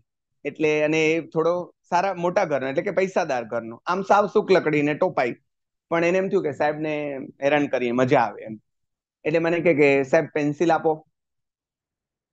એટલે મારી પાસે ન હોય તો કોઈની પાસેથી લઈને આપીએ એમ. જરા વાર એમ કે, સાહેબ, રબર આપો ને. જરા એમ કે સાહેબ, સંચો આપો ને. એટલે આપણને ખ્યાલ આવે કે એ ટોર્ચર કરવા માંગે છે. તો એ ચીડાયા વગર આપણે એ આપ્યા કરી આપ્યા કરી.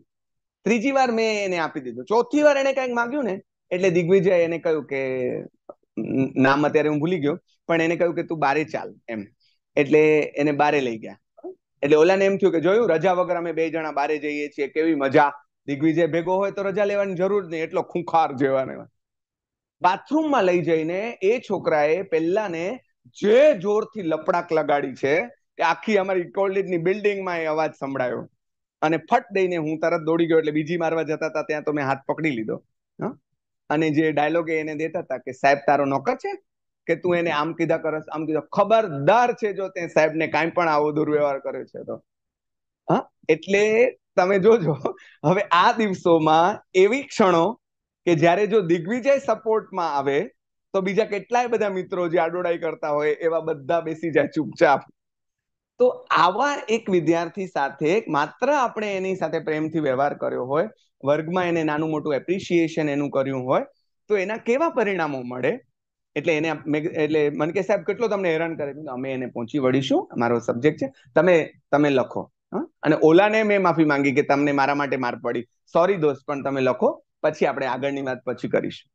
એ છોકરો તો છોકરો, આખી કોલેજ ત્યારથી એને બધાએ એમાં જેણે જેણે હિંમત કરવાની કોશિશ કરી હતી બધાએ માંડી વાળેલું. કારણ કે આજની તારીખે પણ એ દિગ્વિજય બજારમાં મળે તો ખાલી જય માતાજી સાહેબ, કેમ છો? આટલું જ ઊભા રહીને અમે વાત કરીએ અને પછી સ્મિત સ્મિત સાથે છૂટા પડીએ. પણ આજે પણ બધું બરાબર છે ને એમ કરીને પૂછી લે છે. કે બધું બરાબર? બરાબર. એટલો પ્રેમ. એટલે એવો જ બીજો એક દાખલો મારે તમને દેવો છે, એ નિલેશનો છે. એટલે ત્રણ ચાર દાખલા જ થઈ શકશે. નિલેશ એક એવો છોકરો કે જેના કાકા બાપાની કેટલી બધી ગાડીઓ, એટલે આમ છાતી કાઢીને જ ચાલે. આમ આમ આમ કરીને ચાલે અને કોઈના બાપને દાદ ન દે ને આખી લોબીમાં આંટા મારે તો આપણને એટલું વિચિત્ર ફીલ થાય. ભણાવતા હોય ત્યારે આમ ધડ ધડ ધડ ધડ આંટા મારે. વર્ગમાં બેઠા હોય તો ગમે ત્યારે એનો ફોન આવે. ગમે ત્યારે બહાર નીકળી જાય, ગમે ત્યારે પાછો આવે, આ કરે, તે કરે. એટલે બીજા સાહેબોએ એને પોતાના વર્ગમાં આવવાની ના પાડી દીધું. તમે મારા વર્ગમાં નહીં આવતા. આપણા વર્ગમાં આજ પહેલા દિવસથી માંડીને આજની તારીખ સુધીમાં એક સૂચના પહેલા દિવસે અમે આપી હોય. કે તમે બધા વિદ્યાર્થીઓને ગમે તે વિષયના, ગમે તે વર્ગના, એટલે કે એફએસવાય ટીવાય બીએ બીકોમ કોઈ પણ વિદ્યાર્થીઓને વર્ગમાં ગમે ત્યારે આવવાની છૂટ અને ન ગમે તો ગમે ત્યારે જવાની છૂટ આપણા, તમારા કાન કઈ ઓલા કવિએ કહ્યું એમ થૂંકદાની નથી કે આપણે કાંઈ પણ થૂંકીએ ને એ લોકો બિચારા સાંભળ્યા કરે, સહન કર્યા કરે. એટલે તમને માથું ચડે કે હવે બહુ ઉપરથી જઈ રહ્યું છે, તો તમારે જતા રહેવાનું. એટલે મને ખબર પડે કે હવે ટ્રેક બદલવો પડશે. તો નિલેશને આપણા વર્ગમાં છૂટ આવવાની, જવાની ગમે ત્યારે. એનો ફોન આવે તો બી મને ડિસ્ટર્બ નહીં થાય. તો એને લાગણી બંધાવવા માંડી કે જો આ એક સાહેબ એવા છે કે જે મને રોકતા નથી, જે મને ટોકતા નથી, ને નિલેશ તમે તમે કર્યા કરે છે. નિલેશ બધું આપણે પૂછીએ તમે બધું કેમ છે? ઓહો, તમારો તો બહુ મોટો બિઝનેસ આમ છે તેમ છે, હું સમજુ તમને બહુ ફોન આવે, કામ આવે, આમ આવે, તેમ આવે, ફલાણું દીકરું. એટલે એમાં એક દિવસ એવું થયું કે સ્વયં શિક્ષક દિવસ હતો કે અમે કોઈક ટાસ્ક આપેલું. એટલે એક શંકર નામનો અમારો વિદ્યાર્થી કે એ બોલવાના હતા. એટલે મેં નિલેશને બેસાડીને કહ્યું. જો નિલેશ આજે શંકર બોલવાના છે. એટલે આજે ન તો તમારો ફોન રણકવો જોઈએ કે ગમે એવો ફોન આવ્યો હોય તો ન તો તમારે ઊભા થવાનું છે. કારણ કે હું ટેવાયેલો છું. તમે વચ્ચેથી આવશો, જશો તો પણ મારી ભણાવવાની લિંક નહીં તૂટે. પણ શંકર આજે પહેલી વાર બોલવાની હિંમત કરે છે. એટલે એ વિદ્યાર્થીને તમારે ડિસ્ટર્બ થવા દેવાના નથી. તમારે એનું બળ બનવાનું છે. તમારે એને હિંમત આપવાની છે એપ્રિશિએટ કરવાના. હો હો, સાહેબ, કોઈ સવાલ જ નથી. ટોન પણ આવો. હો હો હો હો. મેં આજે બી હો હો વાળો ટોન છે એનો. તો, અને નિલેશ, છેલ્લી પાટલીએ સાવ શાંતિથી બેસી રહ્યા. શંકરે જયારે બોલી લીધું, ત્યારે વર્ગમાં મેં પહેલી તાળીઓ નિલેશ માટે પડાવડાવી. કે જોયું? જો નિલેશ ધારે, તો એ પોતે શાંતિથી બેસી શકે એમ છે. અને કોઈના બાપને પણ ફોનમાં દાદ ન દે જો નિલેશ ધારે તો, આમ તેમ. એટલે નિલેશ રાજી થઈ ગયા ઓહો એના માટે જિંદગીમાં પહેલી વાર તાળીઓ પડી હશે કદાચ. I don't know I don't know પણ એમનું જે પ્રકારનું વ્યક્તિત્વ હતું, એ પ્રમાણે કદાચ પહેલી વાર કોઈએ તાળીઓ પાડી હશે. પણ પછી ધીરે ધીરે ધીરે ધીરે વર્ગમાં આ ભણતા ભણતા, સાથે મજા કરતા કરતા કરતા કરતા એ નિલેશ એક વર્ગ એફઆઈ નો પૂરો થાય છે વર્ષ. અને એસવાયમાં જયારે આવવાનું છે ત્યારે મને પૂછવા આવે છે સાહેબ મારા માટે તો આ ક્ષણ અત્યારે પણ નાચવા જેવી ક્ષણ લાગે છે. કે સાહેબ, આવતા સત્રમાં કઈ ચોપડી હશે? મને જરા કયો તો હું પહેલેથી વાંચી લઉં. આજે અમારા ભલભલા છોકરાઓ નથી કહેતા.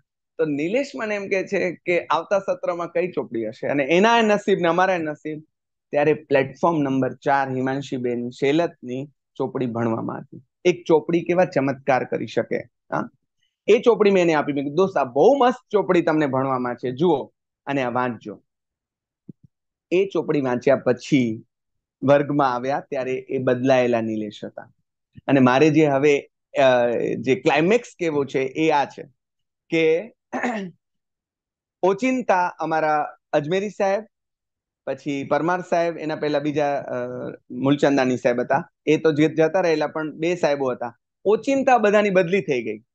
અને મારી સ્થિતિ રાતોરાત વિધવા જેવી કારણ કે કશું જ કરી શકું ને એકમાત્ર હું સાવો નવો નિશાળી હું આવ્યો, આવેલો, તેના ઉપર ચાર્જ આવી પડેલું અને હવે મારે કોલેજ ચલાવવાની હતી અને સાહેબો બધા જે અનુભવીને મારા, મારી આમ ઢાલ બનીને ઉભેલા અજમેરી સાહેબે તો એકવાર મને મારવા આવેલા, એવા લોકોને કેવી રીતે હેન્ડલ કરીને ભગાડ્યા પરીક્ષામાં, એની વાત તો મને પાંચ સાત વર્ષે પછી ખબર પડી કે પરીક્ષામાં કોપી કરવા નહીં દઈએ.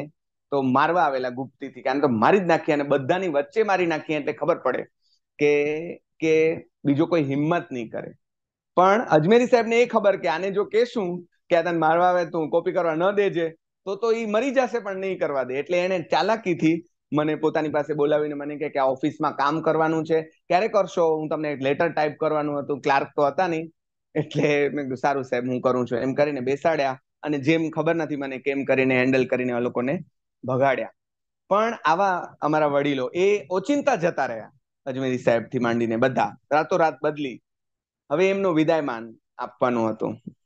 ત્યારે વર્ગમાં એમને વિદાય આપતા આપતા એમના વિશે વાત કરતા કરતા મારો ડૂમો ભરાઈ આવ્યો. બે હતી. એક તો આવા સરસ સ્વજનો જેવા સાહેબોને છૂટા પડવાનું હતું અને બીજી એના કરતા પણ વિચિત્ર સ્થિતિ એ હતી કે હવે મારે બધું સંભાળવાનું હતું, જે મારા માટે બહુ જ અઘરું, વહીવટ ભણાવવું તો જુદી વાત છે. પણ વહીવટ બહુ જ અઘરું. ત્યારે મારે તમને કેવું છે જે ક્લાઇમેક્સ સીન ઇઝ ધીસ કે એ સભામાં, એ નાનકડા વર્ગખંડની નાનકડી સભામાં નિલેશ બેઠા હતા. એ નિલેશે મને બહાર આવવા માટે કહ્યું. કે સાહેબ, બહાર આવો તો કામ છે. એટલે હું બહાર ગયો. સાહેબ, કોઈ બોલતા હતા ને હું પાછી બહાર ગયો. મારી આંખ વાંચીને એ વિદ્યાર્થીએ મને એમ કહ્યું કે સાહેબ તમે શેના ગભરાઓ છો? સાહેબ જાય છે. અમે બેઠા છીએ. તમે જુઓ. અજમેરી સાહેબ ને આ બધા સાહેબો જાય છે. આ અમે બેઠા છીએ. તમને કઈ તકલીફ નહીં પડે અમારી ગેરંટી છે. એની ભાષા જે હોય તે, એનો જે ભાવ હતો, એ આ છે. અને મારે તમને કેવું છે તે આ છે. આજની તારીખે પણ એ વાતને વર્ષો થઈ ગયા. તો બે હજાર ને સોળમાં આ ઘટના બનેલી અને અત્યારે બે હજાર ચોવીસ ચાલે છે. આઠ વર્ષે પણ અત્યારે કોઈ મહિનો એવો કોરો નથી જતો કે જ્યારે નિલેશ બે જ મિનિટ માટે કોલેજ આવ્યા ન હોય અને આવીને, કેમ છો સાહેબ? બધું બરાબર? બરાબર. ભલે. ભૂત જાતો તો, ફલાણે જાતો તો. એમ થયું કે તમને પૂછતો જાઉં અને તમારી ખબર લેતો જાઉં. બે જ મિનિટ પણ આવીને મારી પૂછા ન કરી ગયા હોય એવો કોઈ મહિનો કોરો નહીં ગયો હોય. આ વિદ્યાર્થી. જે વિદ્યાર્થીને આપણે સાવ નિગ્લેક્ટ કરીને બાજુ પર મૂકી દઈએ કે આને તો આવા તો કોઈ દિવસ ભણશે જ નહીં, આમાં તો કઈ ચેન્જ આવશે જ નહીં. અને એ વિદ્યાર્થીએ એક દિવસ ગુરુ પૂર્ણિમાના દિવસે મને એમ કહ્યું કે સાહેબ, બોલો બોલો, ગુરુ પૂનમના તમને શું દઉં ગુરુ દક્ષિણામાં?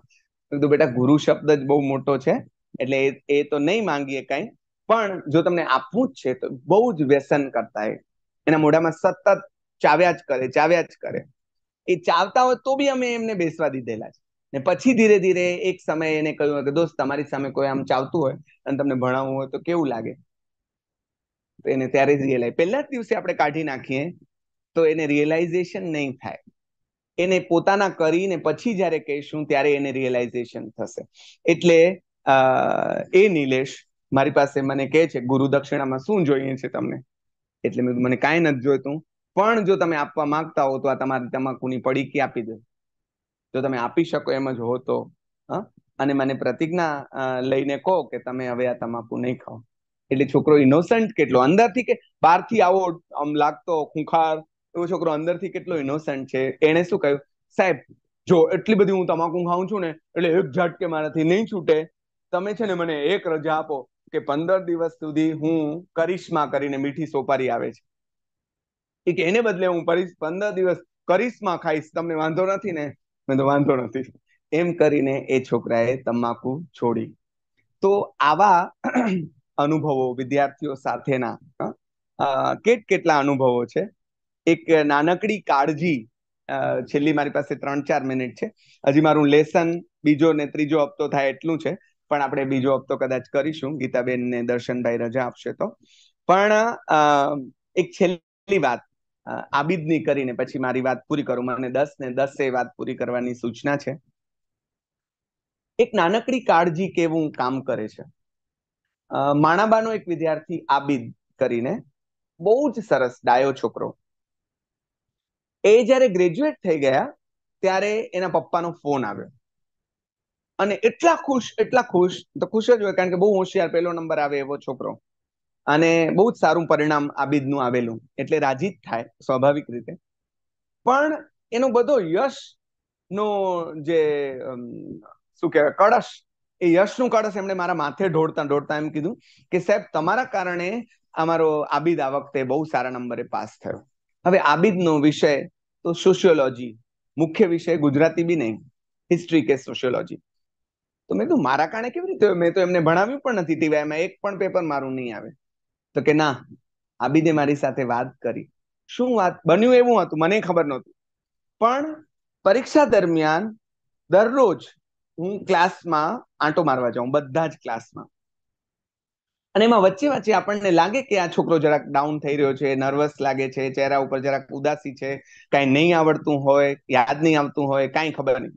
એટલે મારી ટેવ મુજબ અમને ગીતાબેન એવું કરતા અમને અહીંયા છે અત્યારે સાથે. એ વચ્ચે વચ્ચે તમારા માથામાં આમ જરાક આમ કરી જાય. કે બધું બરાબર છે, બધું બરાબર? ઓકે. એટલે એમના બધા પાસેથી આ શીખ્યા. તો હું એવા બે પાંચ મિત્રો આમ અનકોન્સિયસલી જે આપણને આવા લાગે કોન્સિયસલી અનકોન્સિયસલી ખબર નહીં. પણ આપણે એને પૂછી લઈએ કે, દોસ્ત, બધું બરાબર છે ને? બધું આવડે છે ને? ઓકે, પેપર સરસ, કઈ મુશ્કેલી? ફલાણું ફલાણું ફલાણું. ભલે ભલે ભલે. એમ કરીને બીજા રૂમ ત્રીજા રૂમ ચોથા રૂમ એમ કરીને બધા રૂમમાં આંટો માર્યો. હવે છેલ્લી પરીક્ષામાં બન્યું એવું હતું કે આ બી ઓવર રીડિંગના કારણે કે જે કાંઈ હશે તે સ્ટ્રેસના કારણે જેવા એ વર્ગમાં વર્ગ એટલે પરીક્ષા ખંડમાં દાખલ થાય અને એ દાખલ થતા વિદ્યાર્થીઓમાં એટલે એ દાખલ થતા મેં બધું ભૂલી જાય. કશું યાદ નહીં રહે એટલે જેટલા પ્રશ્નો વાંચે તેને એમ થાય કે હે આનો તો મને એક પણનો જવાબ નથી આવડતો. અને એ છોકરાએ એના પપ્પાને કહ્યું, મને ખબર નથી, એનો અનુભવ છે. એને એમ કહ્યું કે સાહેબ આવીને મારા માથા ઉપર આમ કરી જાય ને, એટલે મને પાછું બધું યાદ આવી જાય. હવે આ કોઈ બાબાના હાથ નથી કે આમ ચમત્કાર કરે. રમજાન બાબા નથી કોઈ કે જે આવા ચમત્કાર ખાલી આપણો લાગણીનો સ્પર્શ કેટલું બધું કામ કરી શકે. અત્યારે એના સાક્ષી રૂપે શૈલેષભાઈ સાથે છે. શૈલેષભાઈ કાનાણી, મારા મોટા ટેકેદાર. અહીંયા છે, અત્યારે આપણી સાથે જોડાયા છે. અને મને કેટલું બધું જેમના પાસેથી શીખવા મળ્યું. એક શિક્ષક તરીકે કે કેમ કેવા થવાય? વિદ્યાર્થીઓના બહુ જ ફેવરેટ શિક્ષક. અને એટલું બધું એમનું ઘર ને આપણું ઘર બે ને બધા જ કોલેજ વાળા અને આસપાસ વાળા એમ કે આ બે જણના ઘર ધર્મશાળા છે. અને એમનું વધારે એટલા માટે કે રાપર રે. બધા વિદ્યાર્થીઓ એમના ઘરે રાત રોકાય, ખાય, પીએ, મજા કરે. શ્રીલેખાબેન, અહીંયા અમારા નિયમત બેન આ બધાને વંદન કરવા પડે. બાકી અમારા વિદ્યાર્થીઓ આટલા બધા આવી પડે અને એને કોણ સાચવે એમ? ચા તો હું બનાવી દઉં, પણ ખાવાનું કોણ બનાવે? તો એ નિયામતને દાદ દેવી પડે. મારા એવા, મારા નસીબ છે, પણ મારે, હું આબિદની વાત પૂરી કરીને પછી આ વાત પૂરી કરું કે એ આબિદને કશું જ આપણે કર્યું નહીં. ખાલી પ્રેમથી જરાક પંપાડ્યા. એમાં આ ચમત્કાર થયો. તો મારે કેવું એ છે કે આ ચમત્કાર મારો કે બીજા કોઈનો નહીં, પણ પ્રેમનો ચમત્કાર છે. અને કોઈ પણ વ્યક્તિ જો આ રીતે કરે, તો એને આવા પરિણામો મળે છે. પણ મેં મારા ઘણા વિદ્યાર્થીઓની ઘણી બધી વાતો હજી બાકી છે. સમય પૂરું થતા પૂરી કરું છું. પણ એક વાત મારે ખાસ કેવી છે કે આ બધું એકલે હાથે ન થાય. કેટલા બધા સરસ મિત્રો, શૈલેષભાઈનું મેં નામ લીધું. એ રીતે મુન્દ્રા કોલેજમાં ચાંદનીબેન, રાજદીપભાઈ, મટાણી સાહેબ, અહીંયા અમારા અજમેરી સાહેબ, પરમાર સાહેબ, આ બધા મિત્રોનો ખૂબ જ ટેકો. વિજયભાઈને મારે ખાસ યાદ કરવા પડે. એવા અમારા પ્રવાસી મિત્ર સાથે અમે રખડ્યા છીએ, ખૂબ બધા રખડ્યા છીએ.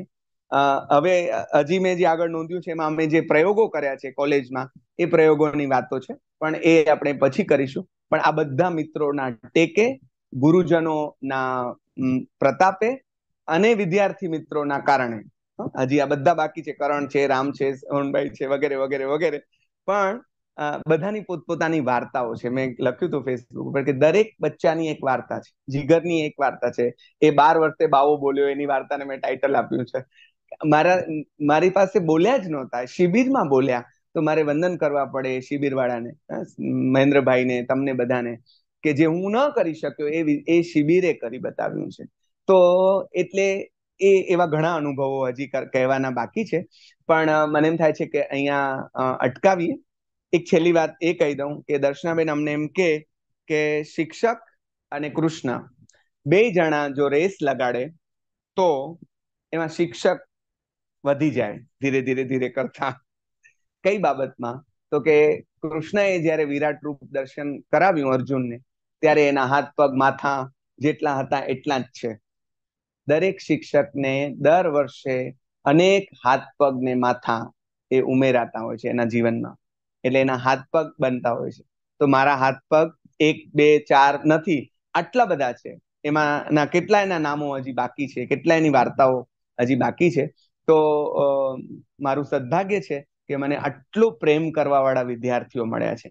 આમાં જે કઈ મેં વાત કરી એ બધી વાત વિદ્યાર્થીઓ તરફથી મને મળેલા પ્રેમની છે. અને હજી પણ મારે જે કરવાની છે તે આ છે કે લોકો કેવા સરસ છે. એટલે બધાને એક શ્રદ્ધા બેસે કે વિદ્યાર્થીઓ બહુ સારા હોય છે. આપણે જરાક એની સાથે દોસ્તી કરવાની હોય છે. તો અહીંયા મારી લીલા સંકેલ, હું થોડી બે ચાર મિનિટ વધારે થઈ છે દર્શનભાઈ. ગીતાબેન. પણ આપણે પછી મળીશું ફરી પાછા, બીજા કે ત્રીજા હપ્તામાં.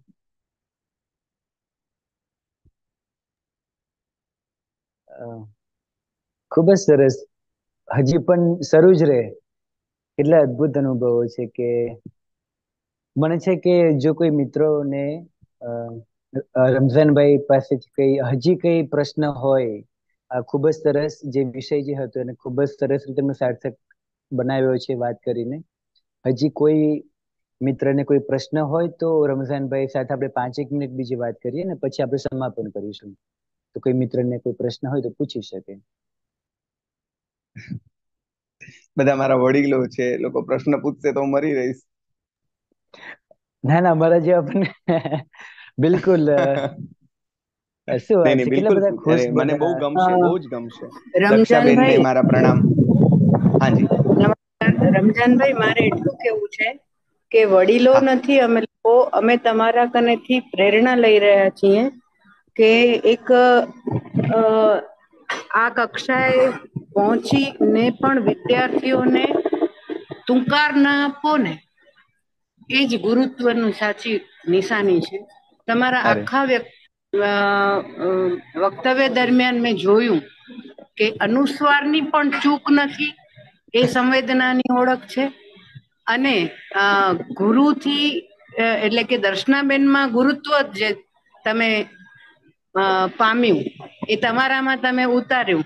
અને એક એક વિદ્યાર્થીમાંથી શું સારું લેવું અને એ વિદ્યાર્થીમાં રોપવું it is not easy task અને તે પણ કયા જગ્યાએ રહીને, કયું સ્થળ છે એ એ અગત્યનું નથી હોતું. પરિસ્થિતિ હંમેશા માણસની પરખ આપે છે.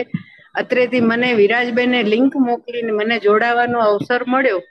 એ બદલ હું વિરાજબેનની તો આભારી છું, પણ તમારો મને બહુ જ ઓછો પરિચય હતો. આજે પૂરો પરિચય થઈ ગયો કે અનુસ્વારને સાચવનાર, ગુરુત્વને સાચવનાર અને શિષ્યમાં ગુરુત્વ બક્ષનાર રમજાનભાઈને અત્રેથી હું વંદન કરું છું. અરે બેન, અરે મારા પ્રણામ. પ્લીઝ પ્લીઝ હાજી.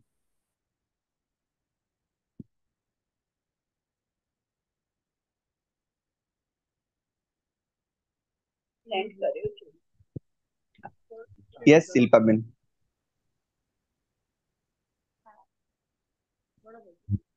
રમઝાનભાઈ પ્રણામ હાજી પ્રણામ નમસ્તે ઘણા વખતે મળ્યા એનો આનંદ તો છે જ પણ આજે જે ગુરુ ગોવિંદ જોવું ખડે એ મને સાક્ષાત ગુરુ ચડે એની ટાઈમ અને પ્લસ તમે એક પારસમણી જેવું કામ કર્યું કે તમારો જેને સ્પર્શ થાય એ સોનું બની જ જાય. જે રીતે અને દુઃખ થાય દુઃખ એટલા માટે કે કાશ મને આવા ટીચર મળ્યા હોત. ઓફકોર્સ ટીચર ને બી થયું હોત કે મને આવા સ્ટુડન્ટ મળ્યા હોત.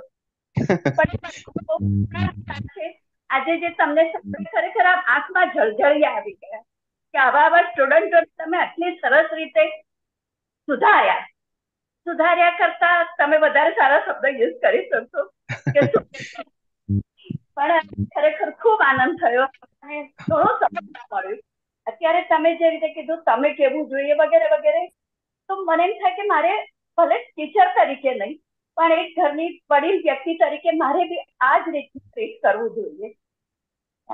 પ્રણામ. ખરી વાત છે ખરી વાત છે. હાજી Shilpaben thank you thank you કહું છું તમારી વાત ખૂબ આનંદ થયો. પ્રણામ. અને પ્રણામ મને ખરેખર મારે બી હું સ્કૂલમાં ભણતો તો મને સારા ટીચરો મળ્યા હતા. બહુ સારી રીતે સારા અનુભવ છે ભણવામાં હોશિયાર હતો એટલે કોઈ તકલીફ પડી નથી. પણ તમારી પાસે તમારું પ્રવચન સાંભળીને ઘણું ઘણું શીખવાનું લાગે છે. કેમ થાય કે હજી મારામાં ઘણી ઉણપ છે. હજી આ વસ્તુ તો રહી ગઈ. હજી મારો સ્વભાવ મારે બદલવાની જરૂર છે. ખરેખર પ્રવચનો સાંભળીને ભગવાન. છે. અને એમ થાય કે હજી મને કેટલું સુધારો કરવાનો છે. મારામાં ક્યાં ક્યાં ઉણપ છે. ઘણી વાર આપણે લાગે કે આપણે બધું બરોબર કરીએ છીએ. પણ સારા બી લાગે છે કે ખરેખર ઓછા ઉતરીએ તમારા પ્રવચનમાં ખૂબ સારું. થેન્ક યુ થેન્ક યુ તમારો બધાનો પ્રેમ છે એટલે તમને આ બધું લાગે છે એવું. હાજી. મારો પ્રશ્ન છે. હાજી હાજી હાજી. હા. યસ યસ રાપરમાં રાપરમાં આપની કોલેજમાં. હાજી. અવાજ આવે છે ને? હા બિલકુલ હા, ઓગણસાઠ વર્ષના માટે ઓગણસાઠ વર્ષના માટે ગુજરાતી વિષયમાં અભ્યાસ કરવા માટે એડમિશન મળે છે. માત્ર આ એક જ પ્રશ્ન છે. મારે લેવું છે. મારે તમને કેવું છે. કે તમે અમને શીખવાડો. મારું તો વ્યાકરણ એટલું કાચું છે કે હું તમારી પાસે બેસીશ ભણવા. પણ ઓનલાઈન ઓનલાઈન એટલે જ્યારે કોરોના કાળ ચાલ્યો એના એનો એક લેખ મેં કરેલો ને એમાં છેલ્લું વિધાન મેં વિજયાબેનનું ટાંકેલું આપણા વિજયાબેન ધુલા તમારું જે વિધાન છે એવું વિધાન એમણે કરેલું ને જે મારા માટે તો બહુ હા. મને એમણે કહ્યું કે રમજાન મૂકે થી તો કે હું કડે ગુજરી વિના ને પોએ રાપર મેં જન્મી ને ઝપાટો વડી થઈ ને તો કોલેજમાં ભણેલા હતા. સેમ વસ્તુ પણ. મને હમણાં પાછું જન્મવું નથી હમણાં જ મને એમ થાય કે એવું તો કશું વિરાજબેન ન હોય પણ બસ બધાનો મૂડ મેં કહ્યું તેમ બધાનો એટલો બધો પ્રેમ મળ્યો છે વિદ્યાર્થીઓનો ખબર નહીં કેમ એટલે હું ઘણી વાર કહેતો હું કોઈનું કર્મોદય ચાલે મારો પ્રેમોદય ચાલે છે. અરે વાહ. સદભાગી કે પણ આ એક આનંદ યાત્રા છે રમજાનભાઈ એટલે એમાં સહભાગી થવાનું મન થાય જ. જી જી જી જી. એટલે મારે હજી ખરેખર માગી લેવું છે દર્શનભાઈ ને ગીતાબેન પાસે. કે આનો મારે બીજો હપ્તો કારણ કે મારા છોકરાઓ રહી જાય તો તો મને પછી મજા નહીં આવે કે આ લોકોને એમ થાય અમારું તો કાંઈ કીધું નહીં એમ. એટલે તમારી અનુકૂળતાએ આપણે બીજો હપ્તો કરીશું એમ. હજી તો ઘણા બાકી છે મારા બચ્ચાઓ. અને એ લોકોની દરેક અમે વિનંતી કરીએ તમને. કે અમને આ લાભો પાછો આપજો. ના ના ચોક્કસ તમારા બધાના આશીર્વાદ છે અને ચોક્કસથી રમઝાનભાઈ આપણે કરીશું જ. આપણે ચોક્કસથી એનો સમય ને પાછી તારીખો એક નવી રીતે નક્કી કરીશું. જી જી જી જી અને શું વાત છે? જે રીતે વાત તમે મૂકી છે અગેન જેમ ગીતાએ શબ્દ વાપર્યો હતો એટલે ઘણું બધું શીખવાનું અને જે અમારે જેવા એવા છે કે એવી કોઈ જગ્યાએ સેટલ નથી અને થવા પણ નથી સતત અલગ અલગ પ્રકારના અ, વિસ્તારમાં લોકો વચ્ચે જવાનું થાય છે. મારા મનમાં ઘણા સમયથી ચાલતું હતું કે હવે કેવી રીતે કામ કરવું જોઈશે બાળકો સાથે? અને ખાસ કરીને કોલેજના છોકરાઓ સાથે. પણ આજે ઘણી બધી, જે કંઈ તમે વાત કરી, એમાં ઘણા બધા જવાબ મળી ગયા. જે પેટનો ખાડો જે તમે બોલે ને કે પ્રેમથી પૂરવો જોઈએ. કેટલી સરસ વાત છે. જે ખૂબ જ અલગ લાગે અને તમે જે રીતે બધી વાત કરી છે, શિક્ષણ જગતમાં ખૂબ જ મહત્વની છે કે તમે જે આપણી વાતથી ત્યારે પણ કીધું હતું કે વિદ્યાર્થીને જેવો છે એવો સ્વીકારો સમાજ આપોઆપ સારો બનશે જ. અને આ બધું વર્ચ્યુઅલ વિચાર વર્તુળ છે કે શિક્ષણ છે બધું જ એક માધ્યમ છે ને આપણે જેવા બધા મિત્રોનું ભેગું થવું, તમારા જેવા મિત્રોનું કામ કરવું, જે બધા અહીંયા ગુરુજનો હાજર છે, એમના બધાના આશીર્વાદ. એટલે ખરેખર ખૂબ જ અદ્ભુત અનુભવ રહ્યો. મેં એક લખ્યું છે એક સરસ પુસ્તક પણ મારા હાથમાં છે. સર્જનશીલ જીવન અને શિક્ષણ. સોને સાબુરો માકી ગુચના વિચારો અને ભલામણો. મેં એક સરસ શબ્દ વાપર્યો છે કે જે આ પ્રકારના પ્રોફેસર કહી શકાય, રમઝાનભાઈ અને બાકી ગુરુજનો. એમને ખરેખર એક શબ્દ છે કે રખવાડ જે કહેવાય ને વિદ્યાર્થીઓના રખવાડ, તો એવા રમઝાનભાઈ વિદ્યાર્થીઓ અમારા રખેવાળ છે. એટલે અમે એમ કેતા હોઈએ કે અમે રામ હોઈએ કે નહીં પણ અમારી પાસે હનુમાનની ટીમ બહુ મોટી છે. અરે વાહ. અદ્ભુત. એ અમારું સદભાગ્ય છે. દરેક શિક્ષકનું હોય છે. દરેક શિક્ષકનું એ સદભાગ્ય હોય. તો મિત્રો ખૂબ જ મજા આવી. આ વર્ચ્યુઅલ વિચાર વર્તુળ અમે કેટલાક મિત્રોએ કોરોના કાળે શરૂ કરેલું હતું. એક મળવું ખૂબ જરૂરી લાગતું હોય છે હંમેશા. તમે ગમે તે કામ કરો છો, કોઈ પણ કામ કરો. તો અમે ચાર મિત્રો હતા અને થયું કે આપણે ચાર તો આપણે ચાર. મળીશું જ. અને જેમ આ પ્રકારના રમઝાનભાઈના આજે જેમ અમે, જેમ આપણી સાથે વચ્ચે છે, એવી રીતે કેટલાક જે કંઈ પણ સારા મિત્રો કે જે મિત્રો કામ કરી રહ્યા છે સમાજમાં, એ મિત્રો સાથે બાકી જે કંઈ પ્રેરણા મળે તો એમને બોલાવતા હોય છે અમે કંઈક જાણતા સમજતા હોય છે શીખતા હોય છે. તો રમઝાનભાઈ તમે આવ્યા સ્વીકાર્યા અમને અને આટલી સરસ રીતે જે વાત મૂકી અમારા બધા માટે ખૂબ જ આનંદની વાત છે. અને ચોક્કસથી પાછા મળીશું જ. અને અહીંયા જે ગુરુજનો જે જોડાયા છે તમને બધાને ખૂબ જ પ્રણામ અને ખૂબ જ વંદન. બાકી મિત્રો પણ અહીંયા લગભગ સિત્તેરેક મિત્રો જેટલા જોડાયા છે કેટલાક યુટ્યુબના માધ્યમથી છે અને બાકીના મિત્રો ઝૂમમાં તમને બધાને પણ ખૂબ ખૂબ આભાર. આવતા વર્ચ્યુઅલ વિચાર વર્તુળમાં મળીશું. કોઈક રીતે સંપર્કમાં ભેગું થઈ જ જવાતું હોય છે આવી જ જવાતું હોય છે. તો રમઝાનભાઈ તમને પણ ફરીથી મળીશું જ. એવી આશા સાથે તમને સૌ મિત્રોને ફરીથી મળીશું એવી આશા સાથે સૌને વંદન. એક છેલ્લી એક રિક્વેસ્ટ સૌ મિત્રો પોતાનો કેમેરો ઓન કરે. આદિત્ય એક આપણે ફોટો લઈ લઈશું ગ્રુપ ફોટો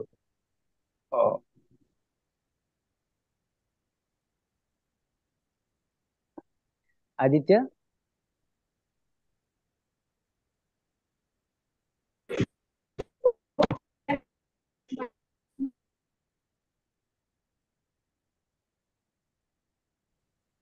ફોટો લેવા માટે અદબ રાવાડીને ઉભવાનું છે. બસ બધા જેમ છો એવા એકદમ સરસ દેખાવ છો. આદિત્ય આપણને કે એટલે બધા હા બિઝનેસ સ્માઇલ લાવવાનું સ્માઈલ સાથે અને વાહ.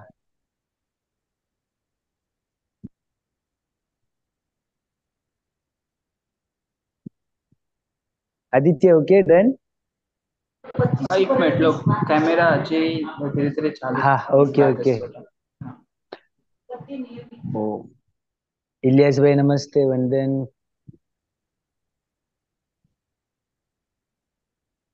લેટ જોઈન થયો પણ મજા આવી મને.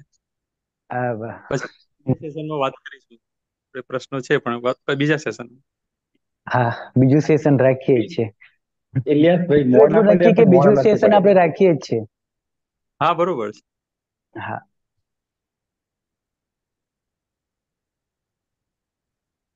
હા.